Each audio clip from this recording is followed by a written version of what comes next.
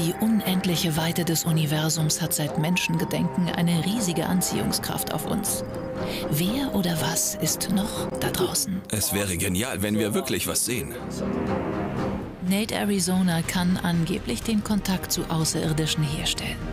Er nimmt unseren Reporter und eine Handvoll wagemutiger Abenteurerinnen und Abenteurer mit auf eine Tour, die nicht von dieser Welt ist.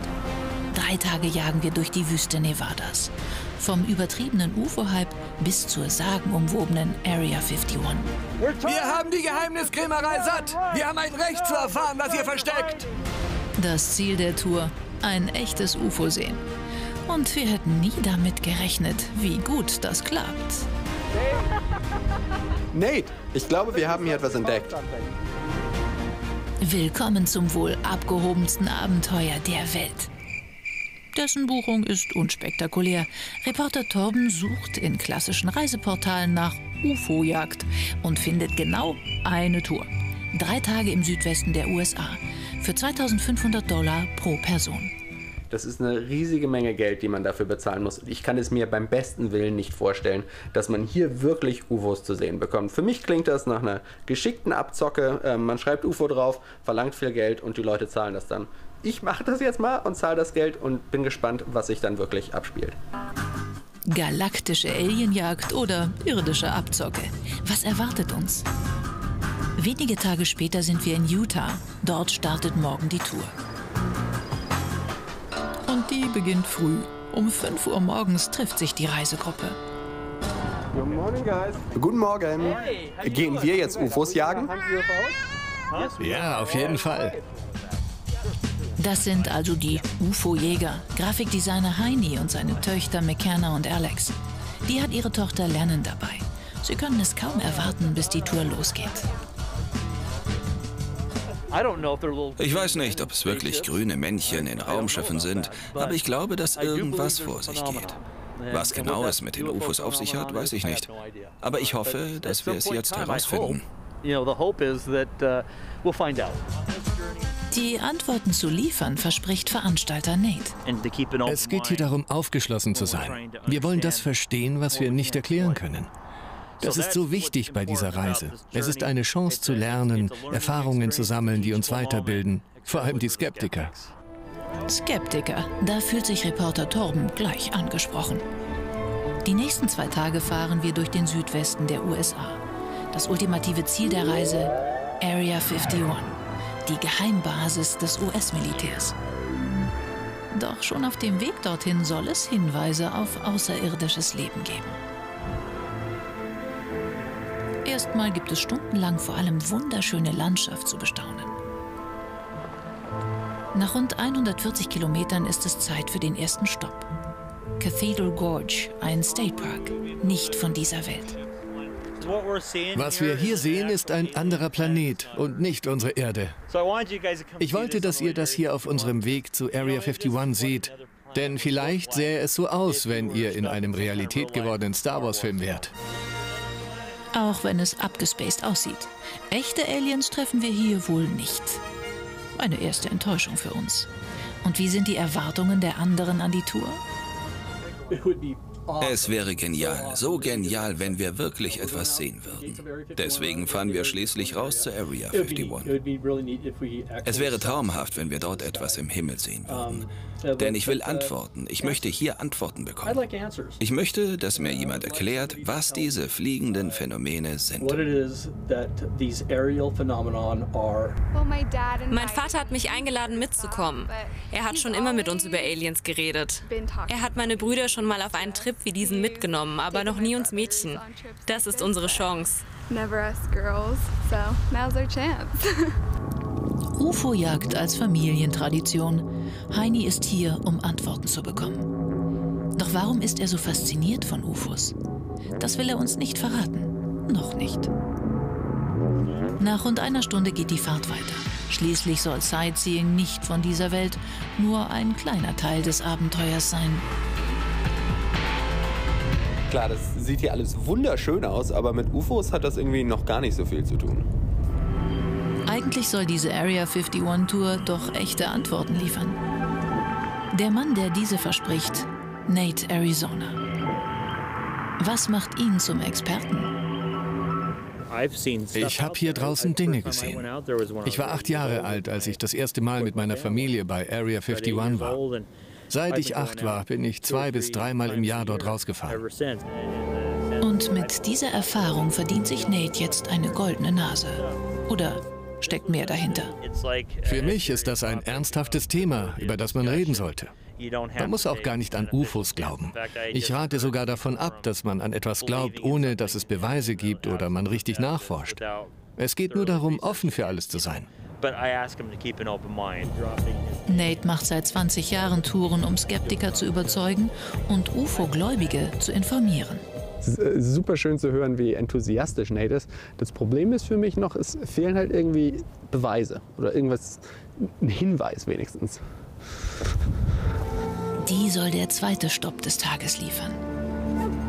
Nate führt die Gruppe durch ein Naturreservat der Ureinwohner. Lion's Mouth, das Maul des Löwen. Hier soll es echte Beweise für den Besuch der Aliens geben. Dieses Gebiet ist für einige Stämme heilig und wir sollten die örtliche Kultur respektieren und es ebenso als heilig ansehen. Früher war dieser Berg ein Pilgerort für Amerikas Ureinwohner. Heute lockt er vor allem UFO-Fans aus aller Welt an.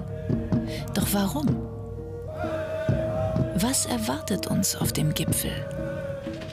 Und hier ist das uralte Alien-Raumschiff an der Wand hier drüben. Das Ziel der Wanderung? Diese bis zu 2000 Jahre alten Wandmalereien. Was hat es damit auf sich? Nirgendwo im Süden von Utah gibt es Malereien oder Zeichnungen wie diese. Und viele dieser Malereien deuten auf einen Alien-Einfluss auf die Einwohner vor langer, langer Zeit hin. Das hier sieht wie eine Rakete für mich aus. Was denkt ihr? Sieht es nicht aus wie ein Raumschiff aus einem Ray Bradbury-Film? Das Feuer und der Rauch, die dort rauskommen. Und das hier erinnert mich an eine Art Geister oder Alienwesen. Schaut euch das an. Man sieht, dass das Wesen große Antennen an seinem Kopf hat. Klingt abwegig? Bei vielen Stämmen im Süden Utahs spielen die sogenannten Sternenmenschen eine wichtige Rolle. Wesen von einem anderen Planeten, die regelmäßig in UFOs zur Erde kommen. Der Legende nach haben sie den Ureinwohnern so vor Jahrhunderten ihre Sprache und Umgangsformen beigebracht. Bis heute wird die Existenz von Aliens und UFOs in der Region als Fakt akzeptiert. Die Höhlenmalereien sind sehr überzeugend. Das sind sehr, sehr gute Beweise, dass wir in der Vergangenheit mal besucht worden sind at some point in time? I don't know. Ich weiß nicht. I don't know. Das könnte alles Mögliche sein, wenn ich ehrlich bin. Das kann irgendwas sein. Ich glaube nicht wirklich, dass es ein UFO ist. Die Lager in der Familie sind klar verteilt. Was hält unser Reporter von den Beweisen? Es ist schon beeindruckend. Also es kann natürlich alles sein, aber es sieht halt ganz, ganz anders aus als all die anderen Zeichnungen drumherum. Also es ist irgendwie, sieht nicht aus wie, wie was Menschliches, was sie da gemalt haben. Ist schon spannend. Bei Skeptiker Tom hat der erste Tag scheinbar Spuren hinterlassen. Und der neigt sich dem Ende entgegen. Seit 14 Stunden ist die Gruppe schon unterwegs. Die Nacht verbringen sie in Pioche, einer alten Wildweststadt. Heini hat mittlerweile Vertrauen zu uns gefasst und sich entschlossen, seine Geschichte mit uns zu teilen. Das erste Mal, dass ich eine Erfahrung mit einem UFO machte, war in La Mirada, Kalifornien. Ich war zehn Jahre alt. Es war dunkel, es war in der Nacht und wir haben ein helles Licht gesehen, das über ein paar Häusern schwebte. Wir saßen einfach nur da und haben es angeschaut. Wir haben das Ding dort oben am Himmel für ein paar Minuten angeschaut. Dann ist es plötzlich aus unserem Sichtfeld verblasst. Das war meine erste Erfahrung mit UFOs. Und ganz ehrlich, meine einzige. Aber damit hat alles angefangen. Uh, eine Lebensaufgabe für Heini. Auch Jahrzehnte später will er wissen, was genau er gesehen hat. Vielleicht bekommt er ja morgen die ersehnten Antworten. Tag 2, der Tag, an dem die Gruppe echte UFOs zu Gesicht bekommen soll. Neu dabei ist Ron. Wegen einer Autopanne startet er die Jagd einen Tag später. Der 72-Jährige ist ein pensionierter Ingenieur, der früher mit der NASA und der Regierung an Raketen arbeitete. Ich freue mich sehr. Ich war seit 35 Jahren nicht mehr bei Area 51. Das letzte Mal, als ich da war, wurde ich beinahe verhaftet. In den 80ern war die UFO-Forschung eben noch etwas wilder. Mit anderen Interessierten war Ron immer wieder an der Grenze zur Area 51 unterwegs und versuchte herauszubekommen, was hinter den Absperrungen vor sich ging. Finden wir das heute heraus? Auf geht's, die Straße ruft. Dafür macht sich die Gruppe jetzt auf den Weg zur Area 51. Dort werden wir sogar die Nacht verbringen, um echte UFOs zu sehen. Die Jagd nimmt endlich Fahrt auf. Nach drei Stunden ist es Zeit für den ersten Stopp des Tages. Das ist das Schild für das Alien Research Center. Was erwartet uns hier? Ein Labor? Nein, ein Souvenirladen? Von echten Erkenntnissen ist nichts zu sehen. Ist der Alien-Hype also doch nur eine gute Verkaufsmasche? Unsere Jagdstimmung ist erstmal vorbei. Für euch als UFO-Anhänger, ist das hier nicht albern? Zieht es ins Lächerliche? Wie geht es euch damit? Es ist unterhaltsam. Wenn wir es so schaffen, dass sich die Menschen für die Thematik interessieren, können wir ihnen als nächstes die Wahrheit darüber beibringen. Die selbsterklärten UFO-Forscher nehmen es also mit Humor. Und es geht wohl auch kaum anders.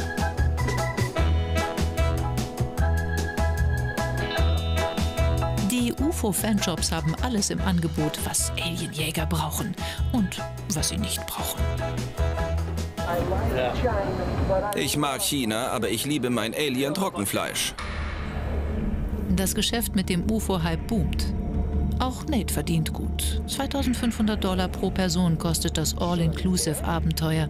Wie kommst du auf die Preise? Ich habe keine Konkurrenz. Und bei den Preisen muss man vor allem meine Ausgaben berücksichtigen. Außerdem dauert es lange, so ein Abenteuer zu planen. Manchmal dauert es Wochen, normalerweise mindestens einen Monat. Diese Vorbereitungen führen Nate und seine Gruppe unweigerlich zum Höhepunkt der Tour. Dem Mekka für UFO-Jäger.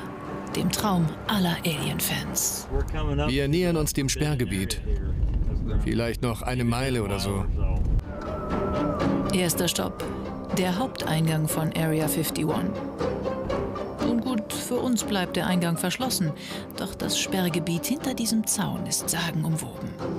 Manche glauben, hier werden Aliens gefangen gehalten.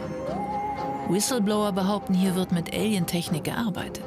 Fakt ist, immer wieder kommt es hier zu Sichtungen. Menschen berichten von unerklärlichen Vorkommnissen und unbekannten Flugobjekten in einer No-Fly-Zone. Deshalb spielt die Einrichtung bei UFO-Forschern eine große Rolle. Auch Ron war hier früher oft unterwegs, hat geforscht und nach Beweisen für UFOs gesucht. Wie fühlt es sich an, nach 35 Jahren wieder hier zu sein? Es fühlt sich komisch an. Zum Teil ist es genau so, wie ich mich erinnere. Andere Dinge sind nicht mehr so. Es gibt jetzt viel mehr Schilder. Damals gab es zum Beispiel noch keine Drohnen. Doch die Stimmung, das Gefühl, das man hier bekommt, ist immer noch dasselbe. Was auch immer sich in wenigen Kilometern Entfernung abspielt. Keiner der Gruppe kann sich dem entziehen. Man steht hier und es fühlt sich auf jeden Fall ganz, ganz komisch. Also es irgendwas, irgendwas geht hier vor sich und man, man spürt das schon, obwohl man überhaupt nichts sieht. Aber ja, es fühlt sich komisch an. Auch auf den sonst so coolen Führer Nate hat die Aura eine Wirkung. Er wird immer unruhiger. Wir haben ein Recht darauf zu erfahren, was ihr hier versteckt in Sachen 70 Jahre alter Technologie. Wir wollen keine Gefangenen mehr sein auf diesem Gefängnisplaneten. Wir wollen bei den Sternenmenschen sein. Alles klar. Tourguide Nate wirkt wie besessen. Er verliert die Kontrolle und schreit seine Wut heraus. Er will, dass die geheime Basis endlich ihre Geheimnisse preisgibt. So lasse ich etwas Druck ab von dem Ärger, der sich seit Jahren in mir aufgestaut hat. Ich habe es satt, dass sie mit mir spielen. Das hier fühlt sich wie ein zweites Zuhause für mich an. Und die Typen experimentieren mit dem amerikanischen Volk, davon bin ich überzeugt. Und die echten Geheimnisse verstecken sie dort drinnen. Und dort gibt es sicherlich ein Dutzend Edward Snowdens, die nur etwas Inspiration brauchen. Von uns? Von unserem Geschrei? Von unseren Appellen. Sie werden unsere Aktion sehen und denken, verdammt, vielleicht ist es das Risiko wert, um die Welt zu verbessern. Ist das einer der Gründe, warum du Touren mit hierher nimmst? Ja. Nate meint es ernst. Klar, er verdient viel Geld mit seiner Tour, aber seine eigentliche Motivation geht tiefer. Nate will aufklären und die Staatsgeheimnisse aufdecken. Und wir sind Teil seines Feldzugs. Denn hier, wenige Kilometer vom Area 51 Haupteingang entfernt, wird die Gruppe heute Nacht campen und versuchen, echte UFOs zu sehen. Was zu diesem Zeitpunkt keiner ahnt. Diese Nacht wird unvergesslich. Jetzt, jetzt ist es soweit. Der große Moment ist gekommen. Heute Abend will ich endlich Beweise sehen. Alles ist auch dafür angerichtet. Sieht so wunderschön aus hier. Jetzt muss ich nur irgendwas finden. Die Jäger sind natürlich nicht unvorbereitet. Ron hat Nachtsichtgeräte mitgebracht. Im Nachthimmel über uns verstärken sie das Licht der Sterne und das Licht von allem anderen.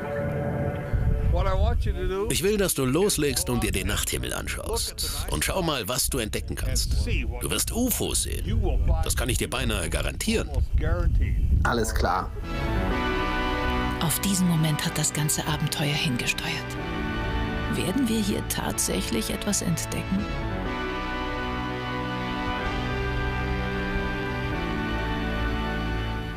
Ich habe zwar überhaupt nichts hier entdeckt bisher, aber es ist super aufregend. Das ist halt super spannend, weil ich könnte halt jede Sekunde irgendwas entdecken. McKenna und Torben suchen den Nachthimmel nach leuchtenden Objekten ab, die sich unnatürlich bewegen. Flugzeuge und Satelliten fliegen in geraden Bahnen vorwärts. UFOs hingegen schweben eher auf der Stelle, so zumindest die Theorie. McKenna, ich glaube, ich habe ein UFO entdeckt. Wie? Ich glaube, dort ist ein UFO. Du hast eins gefunden? Ja. Du kannst dieses Gerät nehmen. Es ist da hinten, über eurem Auto. Ein bisschen nach rechts. Hier, take, take this guy. Da ist was. You see it? Like a little bit to the right. Oh ja. Es blinkt. Right? Right? Es blinkt sporadisch. Ja, das ist ein UFO. Torben hat sich offenbar in den Bann der Jagd ziehen lassen. Ist das hier wirklich ein UFO? Ärgerlich, dass UFO-Footage immer so unscharf ist.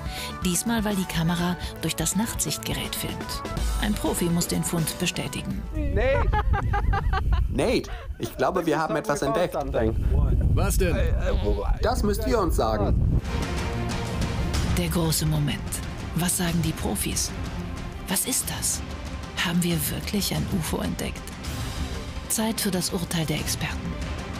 Wo genau ist es in Bezug zum Oriongürtel? Eher tief, in der Nähe der Berge. Oh, okay. Ah, da, ganz unten über den Bergen. Siehst du es? Ja. Was ist es? Ist es ein UFO? Weiß nicht. Es ist ein blinkendes Licht am Horizont. Es ist also ein unidentifiziertes Flugobjekt, oder? Ja, und jetzt verschwindet es. Unfassbar. Dort am Himmel ist tatsächlich ein UFO. Irgendwas geht hier vor sich. Ist es außerirdisch? Sehen wir hier geheime militärische Tests? Was auch immer es ist, über Area 51 herrscht eigentlich Flugverbot. Und trotzdem schwebt dort gerade etwas. Oh mein Gott! Oh mein Gott! Ich glaube, wir haben jetzt echt äh, ein UFO entdeckt. Also einfach mal ein UFO. Ein UFO, oder? Ja. Ein einmaliges Erlebnis. Wir haben tatsächlich etwas in der Wüste Nevadas entdeckt. Auch Guide Nate ist happy. Er hat seiner Gruppe gezeigt, was er versprochen hat. Mit der richtigen Ausrüstung glaubt man schnell an UFOs. UFO-Veteran Ron fühlt sich in der Zeit zurückversetzt. Der Abend bedeutet mir eine Menge. Ich habe hier viele, viele Jahre verbracht. Und selten war ich so glücklich wie heute Abend. Dafür möchte ich euch danken.